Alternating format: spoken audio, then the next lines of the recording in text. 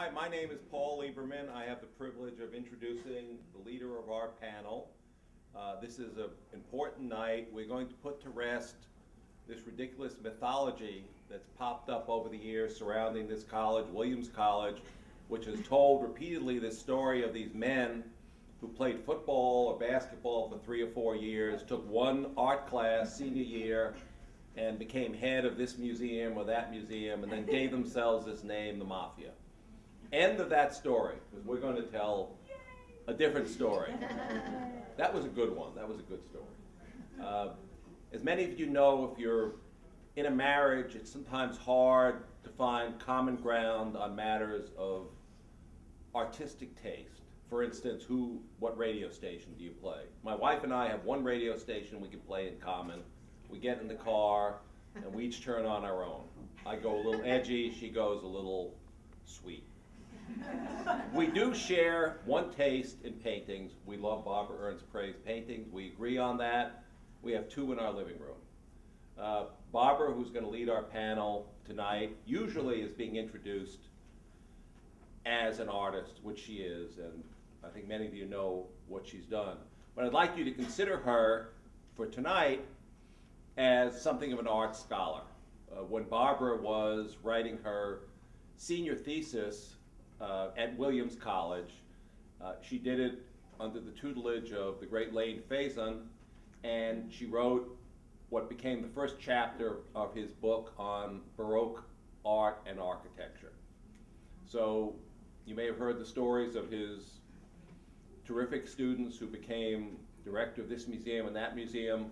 Barbara was the same way as a student, plus she could really paint, and we're not even talking about her divinity studies uh, that she did as well.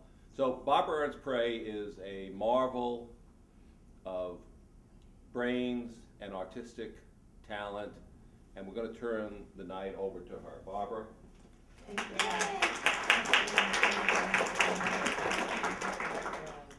Can you all, it works, can you all hear me? Um, I wanted to say, first of all, this is exciting for me to be with these women. Um, they are the tastemakers of contemporary art and really some incredible women. Unfortunately, Shamim could not be with us tonight. She has a project um, glitch for something that's happening in um, January. So she, she sent her apologies and would love to be here and is with us in spirit. Um, I wanted to go to go first go around and introduce our panelists, and I'm going to go alphabetically.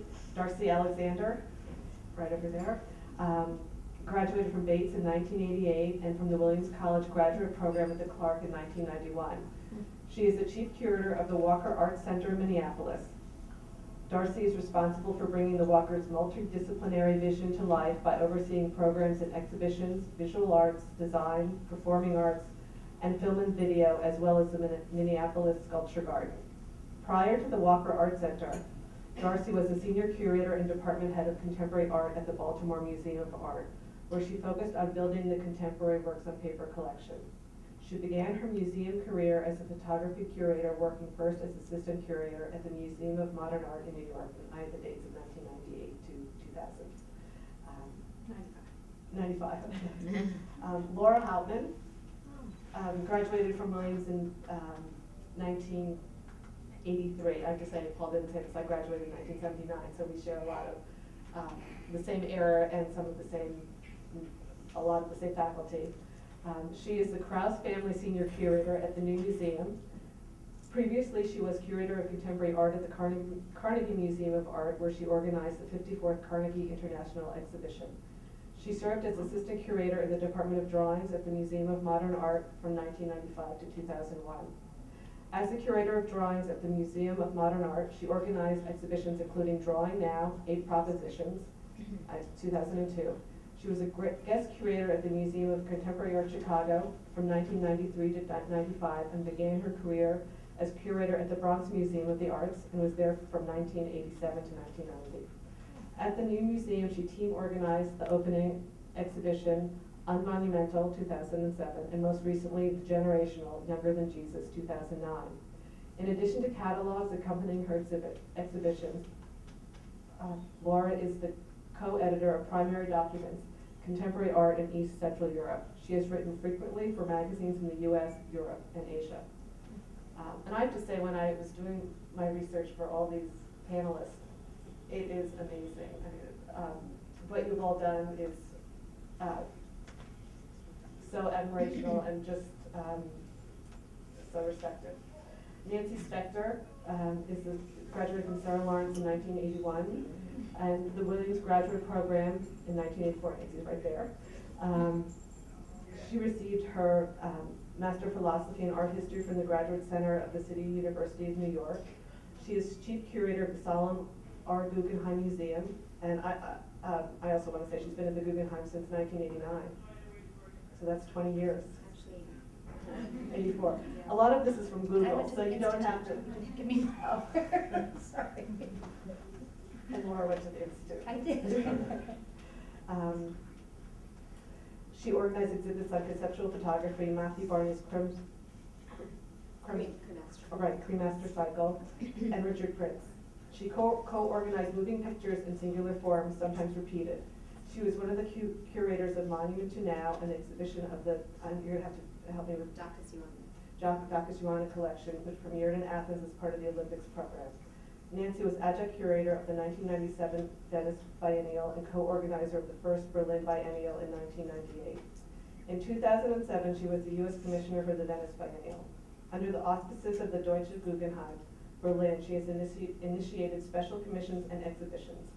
Nancy has contributed to numerous books on contemporary visual culture, and she is regu- a regular columnist for Frieze magazine. She is the recipient of the Peter Norton Family Foundation Curators Award.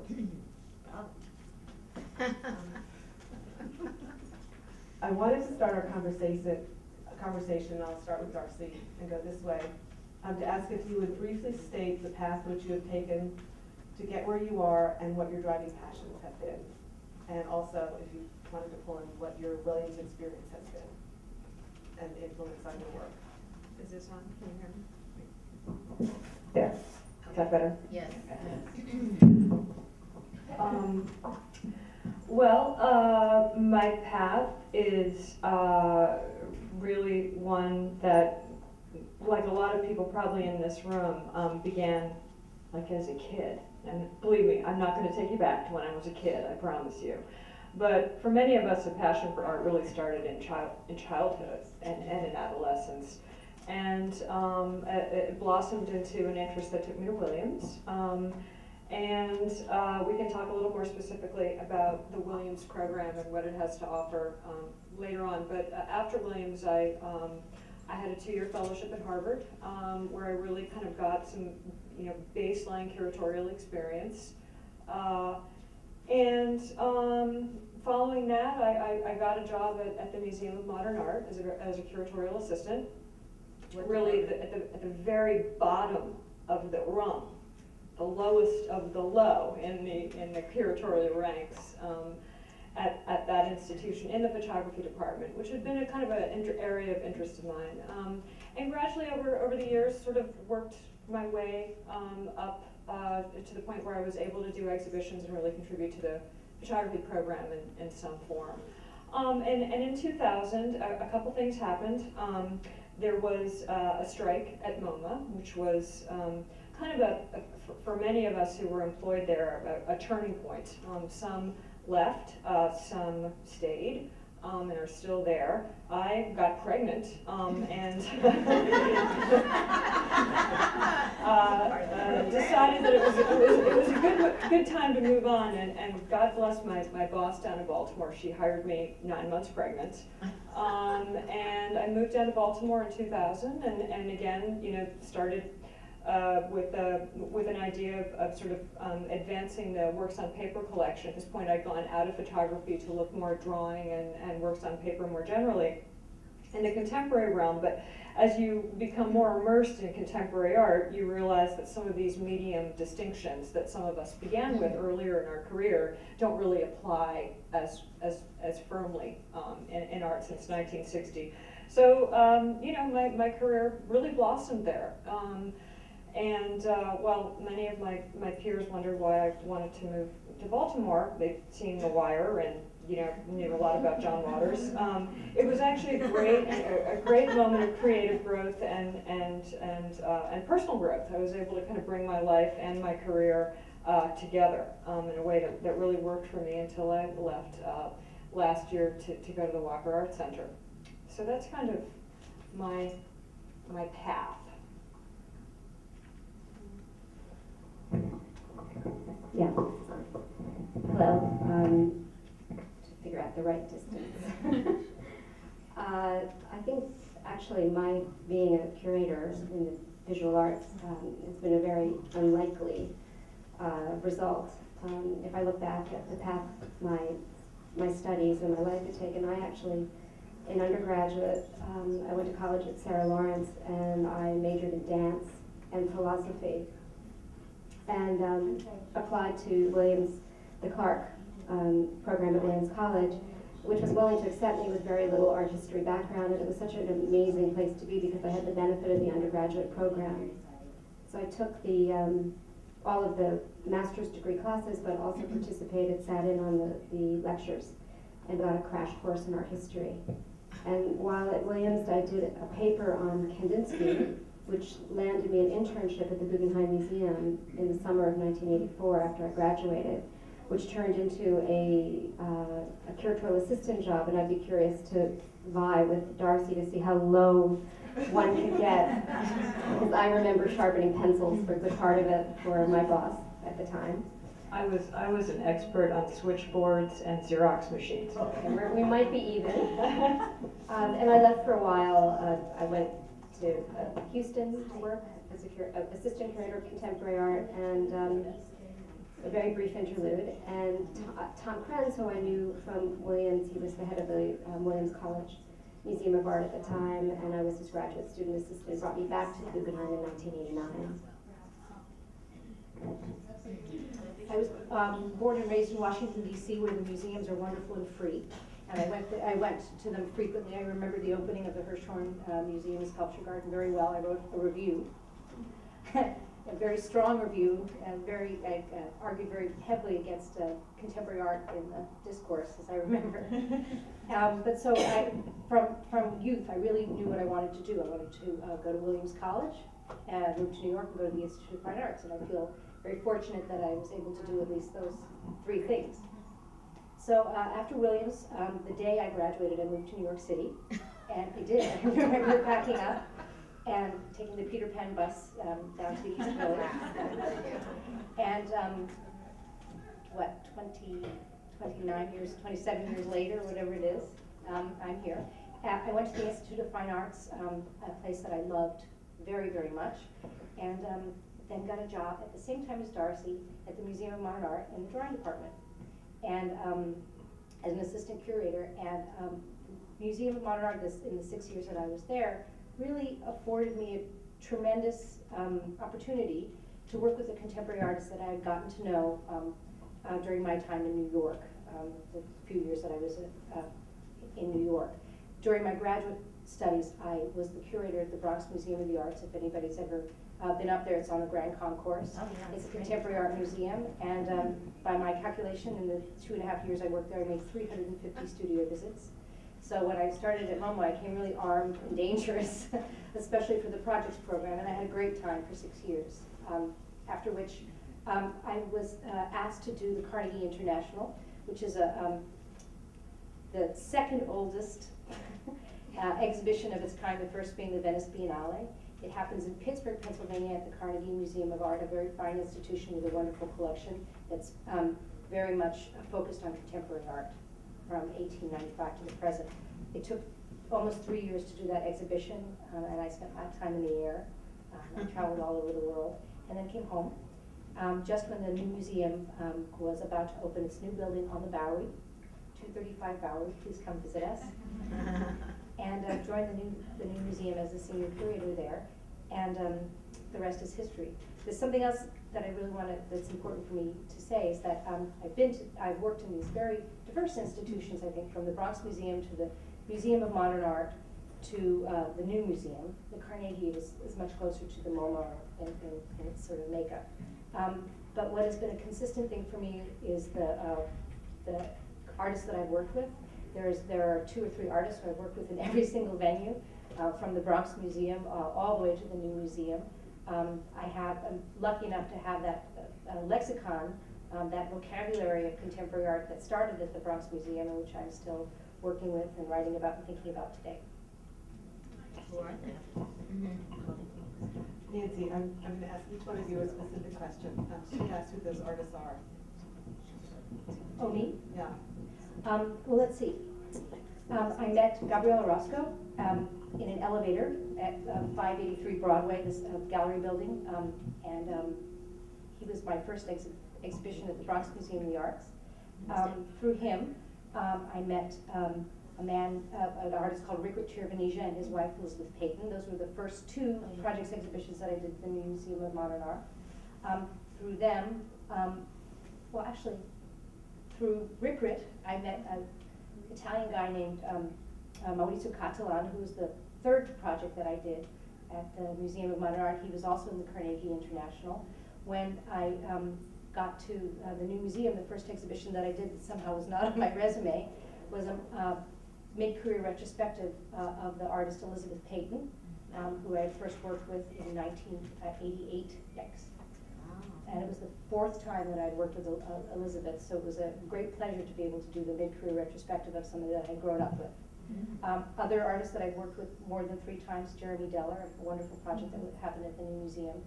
Um, and Tomma Abts, another monographic show that I did at the new museum, so that's the group. Nancy, would you tell us what your day-to-day, people are always curious what a curator does, and, and besides going around the world, um, managing sixteen other curators, um, Um, would you, Yeah, I wish I, and also I'm gonna ask um, Darsie and Laura to pipe in after what, what they do. Well, I wish I could say that I spend it all day at studios, libraries, my desk writing. Um, let's see, my day starts dropping my daughters off at school, and then uh, 14 meetings.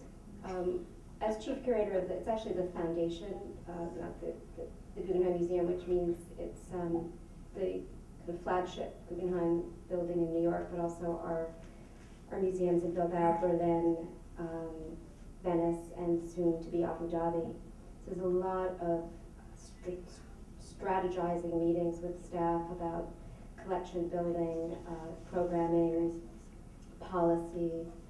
Um, I don't know how it is at other museums, but the curators at the Guggenheim were actually quite small staff, so everyone's involved on every level. Uh, the actual the writing and thinking generally happens after my daughters go to bed at night. That was one of my questions Yeah. down the line.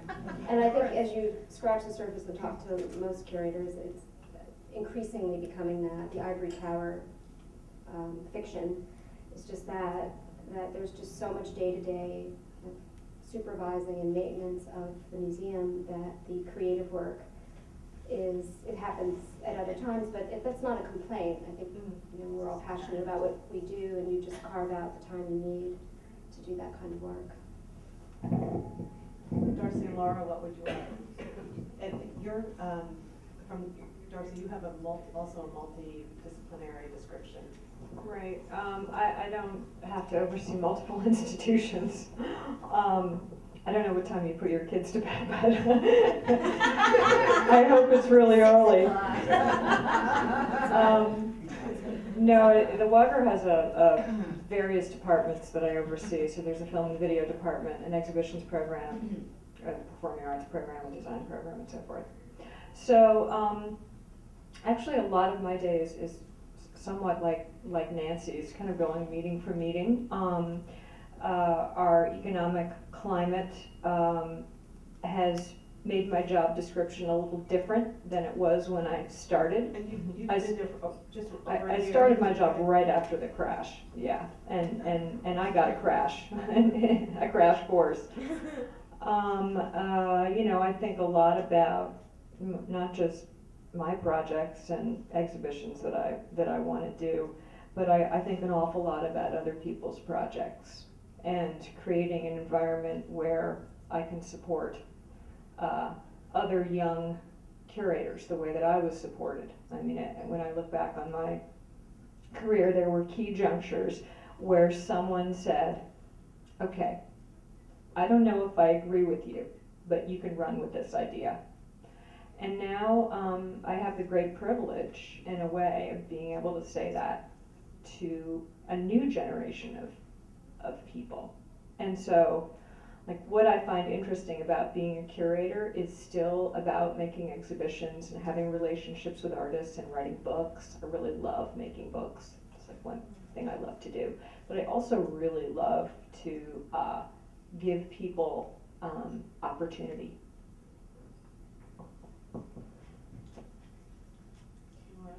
My, my situation is very different, um, because it's, a- I work at a very small institution, a tiny institution.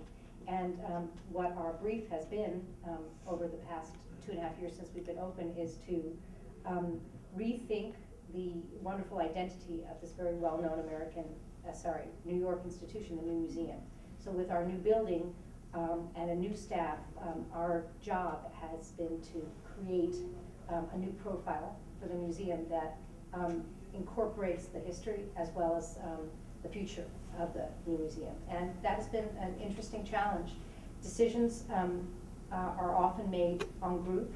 Um, there are three, uh, senior, uh, curators and a director. And, um, so it's a very collective kind of, um, endeavor. And, um, uh, since we have no permanent collection, at this point, there is a small permanent collection at the new museum, but we don't collect right now. Um, our job is really, uh, exhibition making. Um, and that's been, a that's been an interesting thing for me because, um, in previous institutions and jobs, it's been very different. But, so I'm sort of doing the pure D, uh, curator stuff. And I do, uh, spend time, um, running around at my desk and with writing and reading and thinking. It's been, that's been the really wonderful part of working in a Kunsthalle rather than a collecting institution. There are, there are downsides to it, but I've given you the upside. That's interesting. One of the things I, I have friends who are directors and curators, and I always love the curators because you love objects. And we had talked earlier about working with artists, and I think um, artists also appreciate curators because they understand, uh, I guess, where they're coming from in their perspective and vocabulary. Uh, But I wanted to go back, because one, the question I was gonna ask later, and answer that a little bit, Laura, is you're doing so much, you wear so many hats, and um, I felt Laura I knew who she was long before I met her because I loved reading her writing. Um, and I was familiar with her writing, and she was a good writer. Um, but, uh, and you, Nancy, you had said you, you think after your children are in bed, but when, how do you um, fit in studio visits and then also your writing and your thinking and, and your playing time?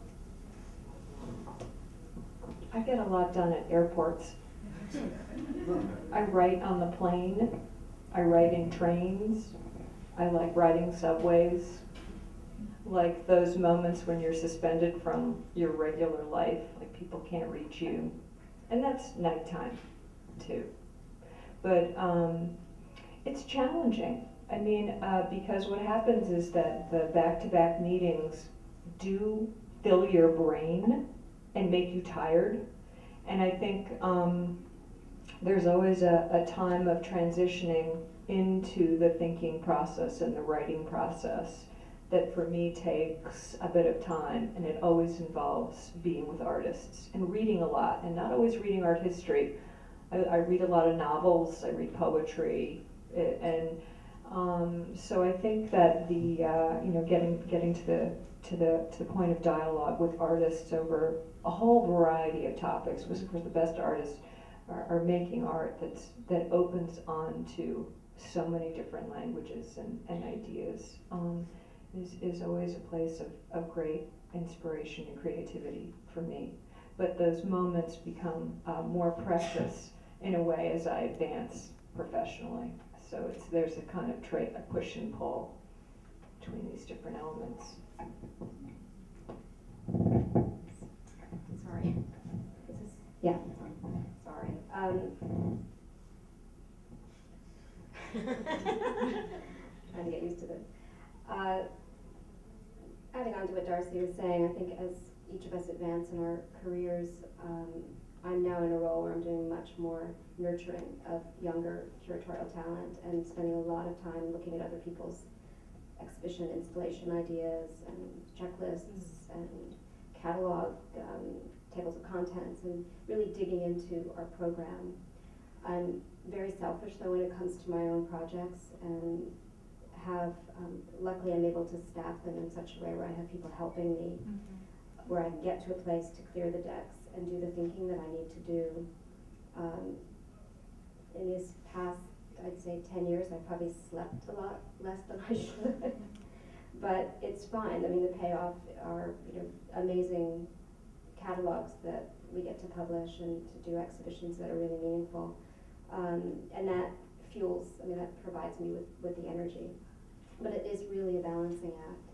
And I think with the economic situation, which I know you wanted to address at some point, resources are, are uh, scarce, the staff in all institutions have shrunk. Um, so it, it makes it that much harder, but I- everybody who I know working in this profession is really passionate about what they do, so it's, it's, it's never a question, is this too much, or, you know, why am I having to do something that may not have immediate, um, an immediate, um, instance of how it's going to affect a project of, you know, my, my own. Um, I think it's always looking at, I'm always looking at the bigger picture. Laura, um, your husband is an artist, and when you, and I'm gonna also open this to, to both of you, um, how do you, do you get out to see a lot of, um, other artists, and is that giving you a, a, an interesting perspective when you're working with artists? Well, one of the things that, oh no, I hate that.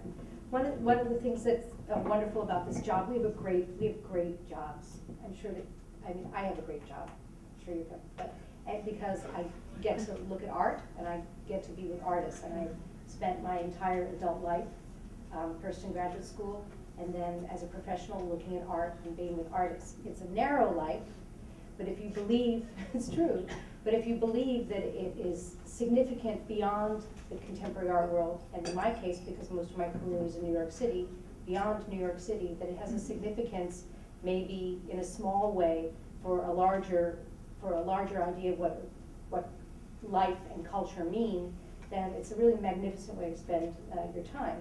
So um, artists are essential, and the art that they make are, are essential. I think um, something that might be interesting to, to point out is that as curators, um, part of our, part, depending on how high, our, high up we are on the totem pole, there's a tremendous amount of infrastructural work that needs to happen. But in Maine, our job as contemporary curators are to be the liaison between the artist and the institution. I didn't think it was, I don't mean to speak for all of us, but if I didn't think it was important, more important than just hanging a picture or going to a party in Art Basel or hanging out with artists, then, then it would, um, it would be less interesting. You know, as a, uh, I grew up with, my mother was, uh, head of the design department at Pratt. And taught there for ten years, so I grew up in a very artistic, very artistic household, I mean, she painted, um, and I've told Paul this, uh, when she had a party, she painted the trees in our backyard because she wanted it to be visually appealing. That's great. I painted our rug, I mean, it's, uh, but you, it's really something that you're, it's something that you're born with, and it's something that you're called to do, and, um,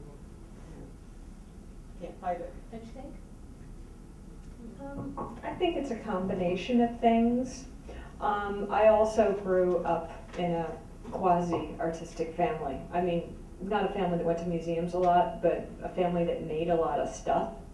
And fortunately, early on in my career, I discovered that I was really bad at making stuff, but that I very much enjoyed looking.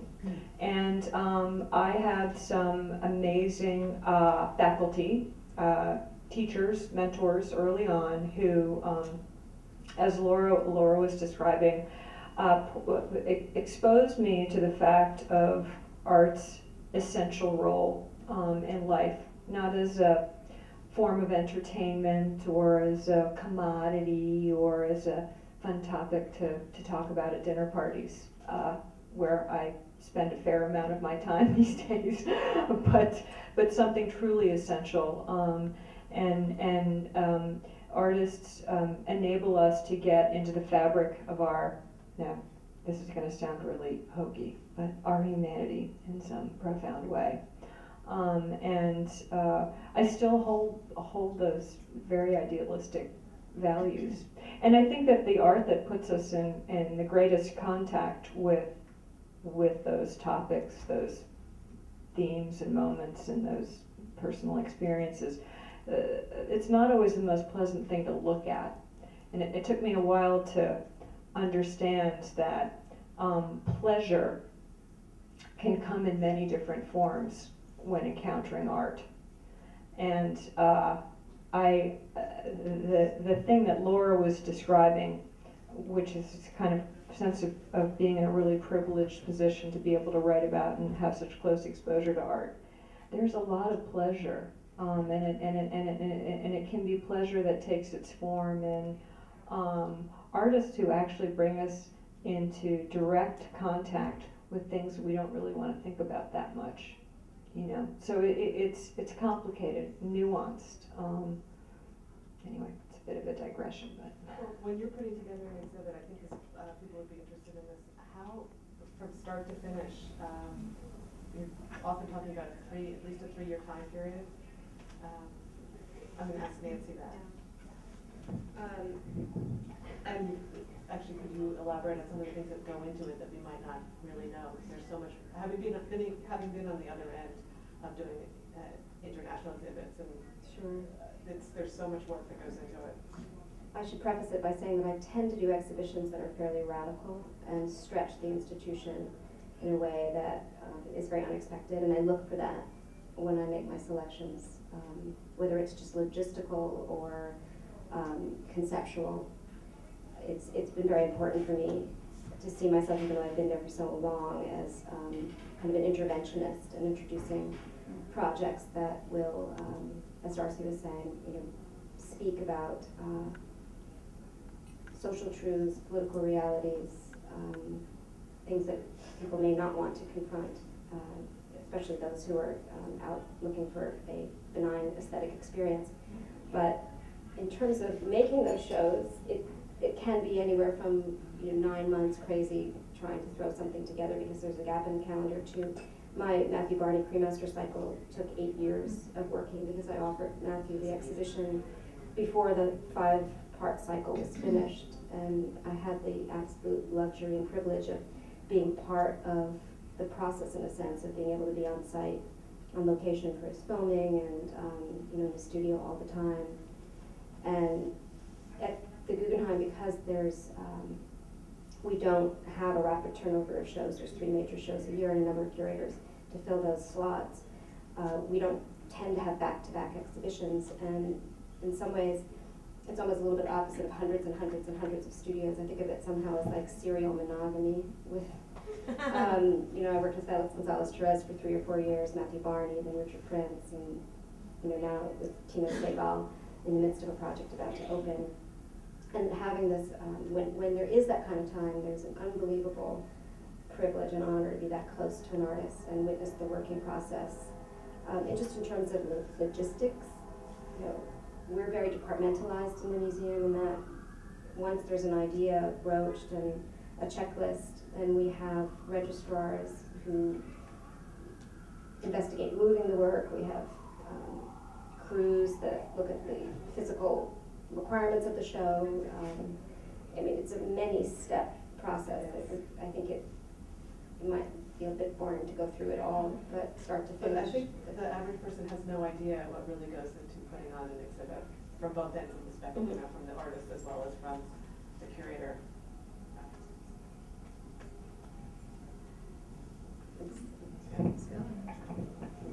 Um, I also wanted to ask, both of you have done, uh, curated biennials, am I correct? Well, the, the Carnegie is an occasional, it's not really a biennial. know. We- Happens every three or we four lived years. outside of Yeah, Pittsburgh for about right. twelve years, so we love the Carnegie, I have to say. And that- that was almost a three-year project of putting. It was, it was, a it was a three-year project, um, yeah, it- and that's a very different experience than doing a, a big research exhibition like um, the Felix Gonzalez Torres or Your Franz West exhibition. I'm sorry. I was, uh, doing a a biennial is a very different experience than doing a, a monographic research project like the Cremaster Cycle or Darsie's recent exhibition that just closed at LACMA, the uh, Franz West uh, uh, monographic exhibition. Um, But it has something to do with uh, group exhibitions, like your um, exhibition, Darsie's exhibition in um, Baltimore, which traveled, it really had legs, it traveled everywhere. It was, I just don't remember the name of it, but it's. Slideshow. The slideshow, right.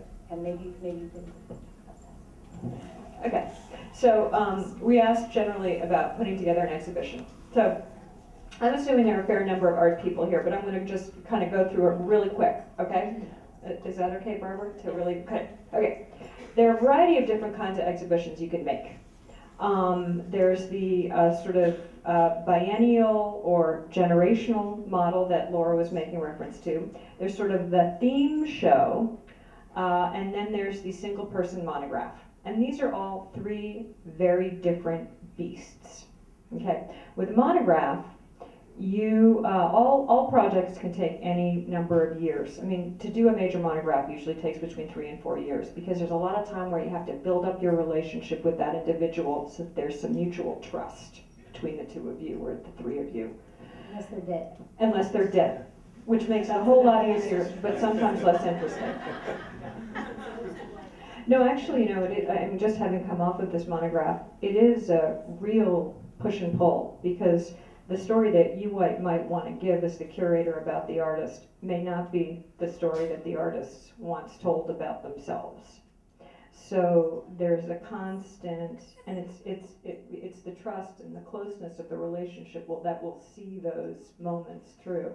But those are, you know, generally those are sort of the pockets of exhibition types, and they may develop out of little kernels of ideas that um, maybe started years and years ago on a hunch, or maybe on an article or on a conversation had that turn into research projects. The research projects become checklists. The checklists become exhibition proposals. Exhibition proposals become grant applications. Grant applications become the basis for funding. And, and over that course of time, those exhibitions we hope get legs, but some of them don't. And that's um, that's another part of the. I mean, we've all had shows that we wanted to do that for one reason or another weren't right for the institution, or too expensive. Um, so that's a little 101. Nancy, would you tell us a little bit about um, the Guggenheim? We can't hear you. I'm sorry. Would you tell us a little bit about the Guggenheim in Abu Dhabi? you're not on. It's, it's, It's on, but you're not hearing. It's fine. Nancy, would you tell us a little bit about the Guggenheim in Abu Dhabi? Sure. Um, As part of the Guggenheim's global network, we are in the process of planning and eventually building a Frank Gehry designed museum in the Emirate of Abu Dhabi, which is being patronized by the government, which is essentially the royal family. And it's been a quite fascinating uh, process thus far in that it's um, the first time we're working in a truly other culture from our own, and it's providing a wonderful opportunity to really think about what it means when you say global or cultural exchange, and really our, our learning about a very burgeoning contemporary visual culture there, um, as well as the geopolitical uh, terrain that we're all trying to be educated about. Um, we're hiring staff from the region. We're hiring curators who are also working internationally. We're enlarging our team and our discourse, which is quite wonderful. Um, we're be, we'll be building a collection for that museum um, and really thinking about it as what a museum of the 21st century ultimately can be if it is a collection that would reflect the globalization of art. And we're at, a, I think, a very privileged place to be able to um, theorize and speculate as to what that could be with a number of um, advisors and peers. And a, it, we do have the luxury in a way of, we've been talking about it now for two years and beginning to actualize it. It will be a, a museum with programming that is of the late 20th and into the 21st century, um, completely internationally. So it's gonna be a Contemporary Art Museum. We're saying that right now, the collection will date from sixty-five to the present. It may go back to encompass ABEX as well. Um, and the programming will be largely of uh, twentieth and twenty-first century, though with uh, Middle Eastern and Islamic art, we'll go back further because those, um, it's obviously very important to the region. And there aren't those cultural institutions that yet provide that, so we'll be doing that as well. Are there gonna be restrictions on the content in Abu Dhabi? We've been told no, and we're uh, moving forward with that assumption. I think it will be an iterative process. The people we are most um, closely dealing with, who are the kind of umbrella organization facilitating the project, um, they're all Western educated and very open-minded, and I think that the, the powers that be understand the necessity to build an empathetic relationship with the rest of the world. And part of that will be done through cultural exchange and, and, and openness. However, we're not going to program our first show with Robert Mapplethorpe. Um, and we do have the largest collection of his works in the world, but um, I think, as I said, it'll be an iterative process of introducing layers of um, kinds of work and educating as we go. We see it as much as education as as an art experience. The, the reason just, and I, the reason why I asked, I just want to add one thing there, is because I think we, the new museum, we, when, we at the new museum think a lot about the notion of the twenty-first century museum. Um, there- of course, the museum itself is a, is an enlightenment, uh, manifestation, and the, in general, the kind of museum model that we see all over the United States and in Europe is a nineteenth century one. So it's kind of interesting to try to mold the nineteenth century ideal of this, uh, of, of this repository for great treasures into something that's permeable to the community at, at large. And I think that's one of the biggest challenges in contemporary art is, again, to, um, not only to bring the artist's work in, but also to communicate, uh, with the public what the artist is, um, being the kind of intermediary between the artist and the public. And I think one of the super important things that uh, is to know about our jobs um, is that um, as much as we might have a passion for a particular kind of uh, particular kind of art or, or a particular artist, it's, it, we work at institutions which have um, responsibilities to our constituencies and responsibilities to our cities and also responsibilities to the greater art discourse. And all that goes into um, choosing the kind of work that we, uh, uh, we choose to do. I mean, we all have passion projects, but they have to be passion projects with a purpose, or we would be, um, we would be something else other than what we are. I think it's very important, so that, that a lot of things go into the decision-making process when an exhibition gets, uh, uh, on the, on the books at the Walker, or at the Guggenheim, or at the MoMA, or even at the New Museum, the Little Old New Museum. A lot of things go into it first before they, before they happen. And when you're considering that, I'm gonna now get to the financial question. Um, in the, this economic situation, um, how has that affected your museum and also going forward? I'm on the National Council of the Arts and we just went over the stimulus package for the museums and it's been fascinating to see what's going on in the United States. Um, and really the, the museums and the arts that need so much, um, support. So we'll start with you. Yeah, the economic, uh, it, it, it, um, of course, it's a very depressing fact because, you know, we're all losing money in some respect. Our endowments are down, the contributed income is down. Um, what that's done at the Walker is actually forced us to be more creative and really to look at those programs that are absolutely essential to who we are. And, uh, and invent new programs that respond more directly to the, to the reality of our, of our climate. And I should say that the Walker, since it reopened in 2005, has used the model of the town square as a, um, as a rubric to uh, program around. The Walker as a gathering place, as a catalyst. And I think that uh, continues to be very important on the community level. But the community reputation of the Walker is actually very different from its international reputation as an organization that does sort of very um, adventuresome curatorial programming and original scholarship. So we actually, like like like other peers, have multiple identities based on our geographic location um, and the specific community that that we're working within. Minneapolis being a, a very distinct community from New York. It's a longer question for you, No, no, no, no, no, we- we- I wish I could say we had a strong and healthy endowment, but um, that's not really the story at the Guggenheim. Um, I think the legacy of Tom Krens has been a very brilliant strategy of forming uh, relationships with foreign governments and funders that provide licensing fees and support the institution through our affiliates, such as the Deutsche Guggenheim Berlin, which is funded by Deutsche Bank, um, and the government of Abu Dhabi, the government, um, the Basque government for Bilbao.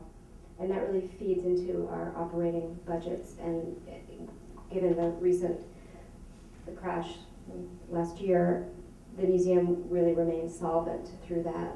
With our new director, Richard Armstrong, who has, comes from a more traditional um, fundraising background, he's combining it with uh, individual donor um, relationships and building the endowment. So it's quite, I think, quite healthy at this point to have dual uh, strategies in place.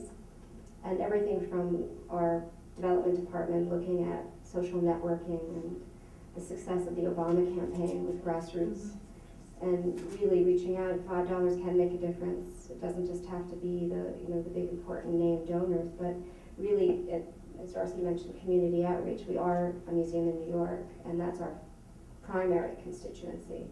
But we're also global in how to facilitate both um, profiles. Again, the new museum is very different. We have no problem with our endowment because we don't have an endowment. So, no, then that actually proved to be very lucky during the downturn. Um, Interestingly I enough. heard that from another. Yes, interestingly director. enough, so, um, uh, we had to scale back slightly. We, we grew in two years by, oh God, and I was not a math major, but we went from being, um, a two million dollar institution to an eleven million dollar institution in two years. So that's a huge jump, so, uh, we, um, our staffing was something like thirty something when we were on Broadway in the eighties and the, uh, all throughout the nineties, and when we opened, uh, we had a staff of hundred. So it, we had a huge growth spurt, and then we did a little pulling back. So now we are, um, um, about on par with other, uh, institutional, uh, um, pairing, which is between fifteen and twenty percent, isn't that correct, of budgets? I think almost across the board, um, the museums in the United States have cut back, the lucky ones, have cut back between fifteen and twenty percent. And I agree with Darsie, it's helped us focus on the things that have been, um, that are things that are very, uh, important to us. But, um, it's been a very interesting ride and it continues because I think one thing that the new museum is finding, finding now is that, um, our approach, our, our constituency's approach to the consuming of culture is changing. Um, we had a ten-year run where cultural consumption specifically having to do with contemporary art um, really changed. I mean, from, we all we started working more than ten years ago, maybe fifteen years ago. And in the nineteen nineties, we had a little, uh, economic recession as well, as you might remember. Um, actually, nineteen eighty-three, when I graduated from Williams, that summer of nineteen eighty-three, the economic situation, the, the, um, the unemployment rate was the same as it is right now. Mhm. So I guess I've lived through now, this will be my third one. But, um, be- that as, be that as it may, um, what was I gonna say? I'm sorry, I'm distracted by the smoke. Okay, yeah, so fifty, we are, so, the most important, it has changed, the it has changed the way that people are consuming culture. There was an article in the newspaper today, um, in the New York Times front page article, um, that was saying that the uh, visitation in general at all museums in the United States is down, uh, Mhm. now. I'm gonna take, um, a question from the back. This, it's hard because the room goes back and I can't see the woman in the, with the scarf. You, You know, This is, this is for all the panelists, could you talk, each of you talk about how your Williams education has influenced your career, and also whether you think this influence is any different than Williams has had on the male art market? Good question. I'm going first because I was the undergraduate. Can I, I'm taking that privilege. Um, I had a very good grounding in art history in a very old-fashioned way at Williams. I, my professor for my 300 level course, that's the course you take for the art history major, was, and this is, it always deserves a drum roll, was H.W. Janson. Can you imagine? He had retired in Williams, in, in Williamstown, he was on his last legs, poor guy. He, he taught for one semester and then he, he passed on. But before he, uh, our, our, um, our course, um, was concentrated on some, one very specific thing, and that was, um, the memorization of over three hundred images from the history of art. As you know, Janson is, was best known for a book called The History of Art, which I think is obsolete now, I don't think people use it. They, they still, right. But anyway, so we had to memorize every object in H.W. Janson's History of Art. And I know that's, it's a funny party story, but you know what? Um, it really has, did stand me in good stead at the uh, Institute of Fine Arts, which was, um, when Nancy and I were going there, it was not that different actually, in terms of memorizing, um, images and objects. And I felt that I had a very good art history education and, uh, a very, I, I went into my graduate studies with a, a great vocabulary because of Williams. But one other thing I have to call somebody out, that is, is that I had a mentor, um, at Williams, and she's called Carol Ockman. She's an Ingres scholar, yes. Um, a wonderful art historian, a great curator, and she, uh, when we are privileged enough to get a curated exhibition from Carol, the last one was on Sarah Bernhardt at, um, at the Jewish Museum, and, um, she taught me Italian.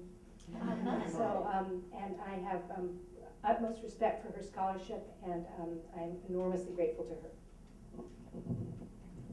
Should I, I might just add as a, I'm also an undergrad, uh, and I was a Williams, um, undergrad, and the, uh, the, for me, I had the opportunity to work with Lane, and, you know, I'll never forget, he gave himself an A plus and he gave me, I think maybe an A minus for working with him. Um, but he worked, my papers would be all red, uh, and he would just, he really worked with me to help me to learn how to write. I think it helped me so much um, from the way, from looking at objects, from appreciating objects. I really, I would be working in art history if I was not a, um, a painter. And the vocabulary and also um, the appreciation um, for all of what you do, because I really understand what you do. And I have to say, deadlines, that's been huge in, for me as a painter. And Darsie and Nancy, from your, from your experience at the, at the Clark, For me, it was the luxury of time, and the Clark Art Institute is, at least it seemed at the time like a retreat, with the amazing library at that time. We didn't have those. Um, We didn't even have electricity. But this is when RILA, the Getty funded project, Oh, yeah. took up base at, um, at the Clark's. The library was amazing. And of course, there was the coursework, which was terrific, and I too was deeply inspired by Carol Ockman. Um, I think in a lot of ways she directed me to revisionist art history and um, social, social dimension of art history, which was woefully lacking at the Institute when I um, went to the Institute after the Clark. Uh, but it was that luxury of time. I mean, let's face it, there's not a lot to do in Williamstown but study. Um, but, I mean, I, I say that jokingly, but, but, but I think that, yeah, but I think that, that what Nancy's describing is, is, um, the kind of seclusion combined with the extraordinary resources, um, is extremely rare. Um, even as I subsequently went to have a fellowship at Harvard, I mean, the, the, the Clark, its library, the resources at Williams, its museum, Mass MoCA, I mean, created actually a more complete package for study, I would say, um, almost. And uh, I think the, the other thing that, that I got um, out of my experience of, of Williams was um, I made some really good contacts. And, and um, I, I, I didn't have really an official mentor like Carol, um, but I was uh, worked closely with Linda Shearer at various times. And uh, when I was on the job market, Linda was on the horn um, with people uh, advocating for, for me um, and my projects. And uh, I met my husband there. Wow, that's a great story. Um, You all have had very successful careers. You're right in the middle of them. What are your professional and personal aspirations for the future. I'd like to prep you for that question. Professional aspirations for the future. Um, for myself, I think I just made a big shift um, into a position that has a lot more um, administration and programmatic oversight. Now, whether or not that directs me more towards a more of a directorial career path or a God, I just want to be go back to being a curator path. I can't really say right now, but um, I think you know the market is and, and our, our working environment has changed so dramatically in the past year that projecting into the future is I think quite a bit more challenging, um, both economically and programmatically. Yet it does seem to be a time to take risks somehow. I want to complete my PhD. What would that be in? Hmm, at this point, dance. No. it's actually on Felix Gonzalez Torres. I have two chapters due, so it's a possibility that I could do it. Can I ask? Uh, CUNY? Yeah. Now my interns are professors. at this point. I know. I think an important, um, I don't know if I can answer that question, this question, so I'm gonna skirt it. I think a very important issue for us and for the museum profession right now, and especially for women, our age and at our rank, is whether we will make the leap to become directors or not. There's a tremendous pressure, and I'm looking at my colleague Lisa Corrin, our, the wonderful director of the Williams College Art Museum is here with us, and Lisa, you have ninety-nine point nine percent of your career as a curator, right? So actually, I'd be interested to hear, you know, how, why you made the leap, because many of us are, and especially at our time, our age. It's interesting that I know as many directors now as I do chief curators. Um, because there's a, a lack, right? There's a lack of, um, knowledgeable, responsible, um, people who have the skill set to be a director. Can I ask Lisa? Yes. I'm asking a question to the audience, can you? Come on. Hi, um, I made the leap because I'm a woman, and I really, um, am deeply committed to women taking leadership roles in this profession, and I am very concerned that only thirty percent of the directors of major museums in this country are women still, and members of the thirty percent women. And so I think there's an absolute necessity that we find the strength and the courage um, to be at the helm of institutions at a very, very complicated time in our history. And the second is, actually, I was afraid of becoming stale because, the, as, as you've heard from my um, very distinguished colleagues, you get on this treadmill of being a curator of contemporary art, and the demands are absolutely physically and mentally so exhausting, and they have been not whiners at all, which I really admire, but with all of the idealism that you have to um, find within yourself to keep you going, you have that's constantly being challenged by these very, very real um, you know, pressures upon you. And so I, um, I wouldn't become a museum director just any place. I became a museum director at Williams because it was Williams College Museum of Art. It's the connection to teaching and mentoring the next generation, and also the pressure that the students put on me and my ideas um, keeps that fountain of idealism constantly moving forward. And it also gives me a sense, as I thought Darsie um, did just a beautiful job explaining, that sense of um, how important art really is to thinking about history and who we are as human beings. And I think that in a college museum environment, you know, we get to do that in a very concentrated way every day um, because of the kinds of interdisciplinary work that's going on, kinds of aspirations that our students bring to us, and also because they're very fresh, you know, they're young. Um, so I think for me, it's a combination of feeling um, a commitment to my gender and the importance of uh, being a woman leader, but also um, the opportunity to mentor the next generation and sort of keep the faith and the commitment to the things that we as curators love so much alive. But I, can I ask a one little question? and that is because I think it's really relevant. Um, because I am a, um, a teacher as much as I am still a curator, and that is where do we go from here with the education of the next generation? Because um, we're still providing, not only at Williams, but at other very, very good colleges, that strong art historical foundation. But I see a lot of my students and my interns here, And I have the whole, a whole nother crop coming up this year, and I'm asking myself, what is it going to take um, for them in order to be able to um, think about careers as curators, to think about careers as directors? What do we need to do to prepare them? Not just in terms of the art history they need to know, but other qualities and ways of thinking that they may need to have in order to, to, to do what we've done for so many years. I'd love to get your Anybody advice. Yeah, I think um, this may be a slightly provocative uh, comment, um, but I think that um, one of the key ways that curating has changed over the years is a much more intensified relationship to this abstract concept, audience. And audience was always kind of um, put off as like the domain of the education people and of the PR people and the marketing people.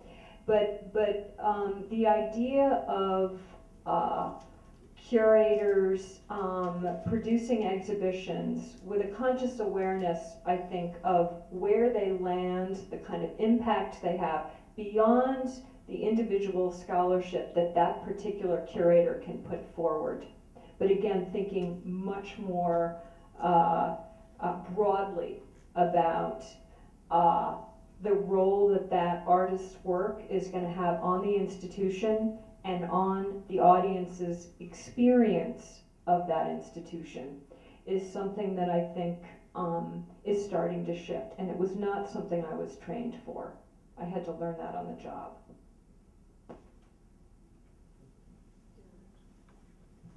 Oh, I, one, one thing, I just, one comment, provocative too also, I think. I think that being a curator is not a profession, it's a vocation. Avocation. A vocation and or a vocation if you wanna be religious about it. It's not, it's not, you don't go into it to make money, you don't go into it to go to parties, you don't go to, to, to, to hang out with, uh, artists. If you do, you're gonna be disappointed. It's something else completely. And, um, we could have a whole other discussion about curatorial studies to programs versus art history programs, but I'm an old-fashioned advocate of old-fashioned Me too, me too. And I think that that is an important conversation to have because when I'm hiring staff and I'm looking at curators, I, I don't, I don't necessarily, uh, uh, privilege people that have had, um, training in the trade.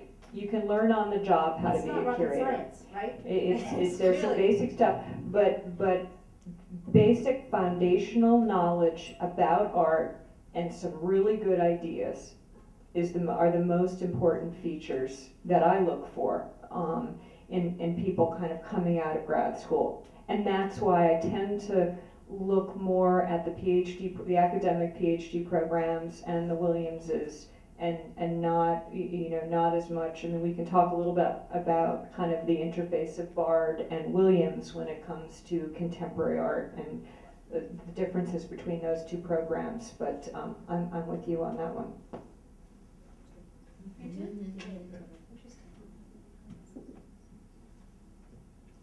I think we have time, is, uh, for one more, que- I was told we should be out of here by eight, am I correct?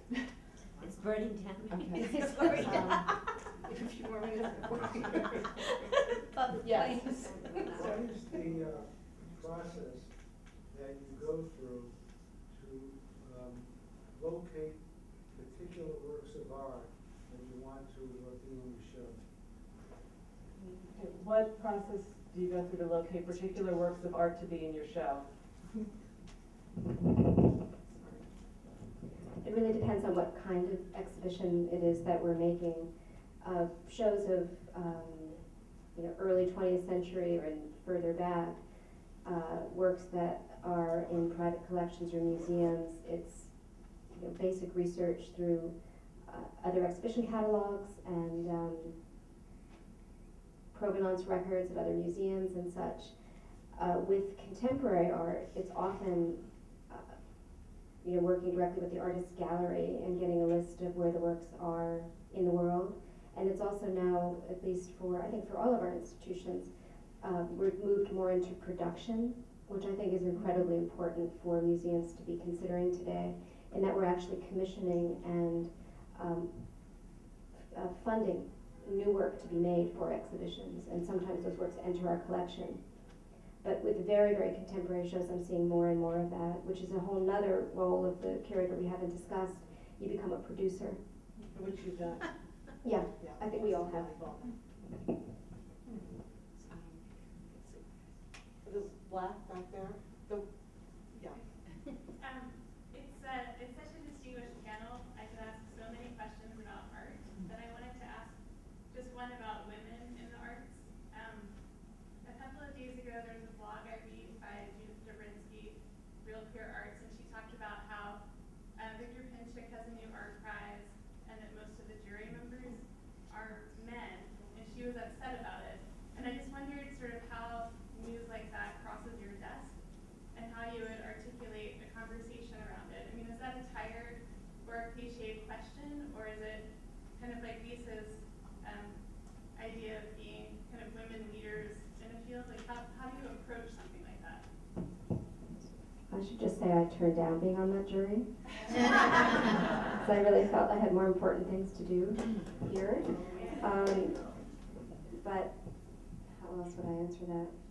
I mean, I think that Lisa said was extremely to the point about um, leadership roles for women, and it's not a surprise that the three of us are here as curators, because at least at my institution, it's the majority of curators are women. I think you find um, women editors, women curators, uh, even the content providers, but not in the high-paying jobs that carry the authority. And I think that there's, anyway, you, you both have things to say, it's Well, just no, because both of our institutions are held by women. that's true, but it's, I mean, not your, it's, um, no, not anymore. Um, I think it's changing for the better, but I also think that there's the realities of being a museum director. I think most curators have to think more than twice about becoming the chief fundraiser.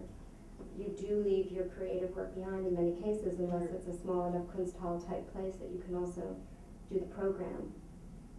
And I don't know how many women I know who are working as curators want to trade their artistic and creative freedom for a job that of course offers more money, but the rewards are, are less if that's your value system.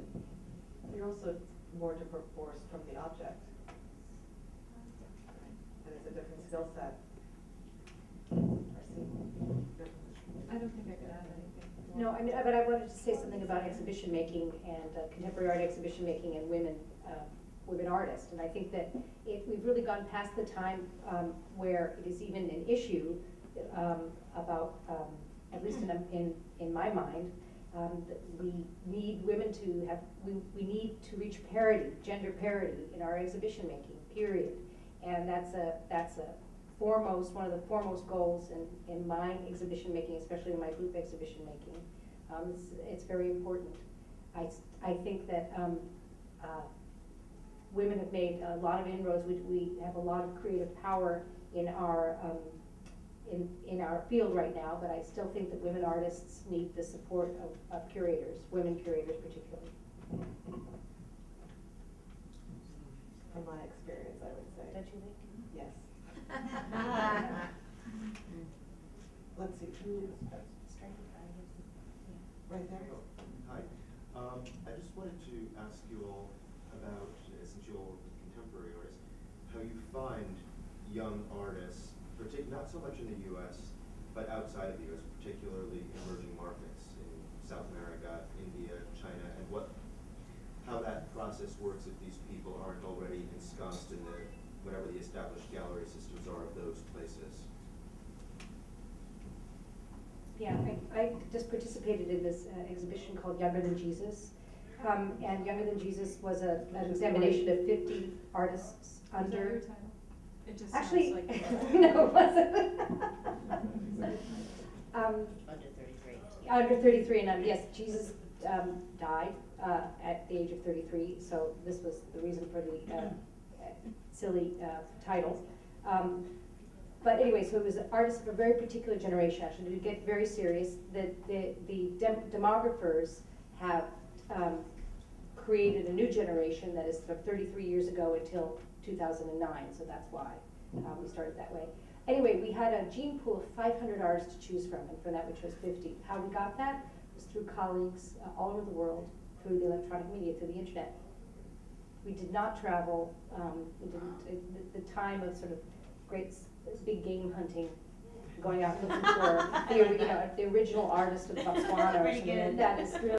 Teddy Roosevelt. Well, it is, it is like Teddy Roosevelt, because Yeah. what do I know about, um, Keir Cook, you know, who, Right, I- right. what we need to do, there are a lot, there are experts everywhere, so we rely on a network of, I think all of us do, we rely on networks of experts throughout, um, throughout the world. And luckily, it's not necessarily through the commercial art markets, but the commercial art markets, despite globalization, have not necessarily reached to Yerevan yet, places like that. So, um, we were working with uh, critics and scholars and curators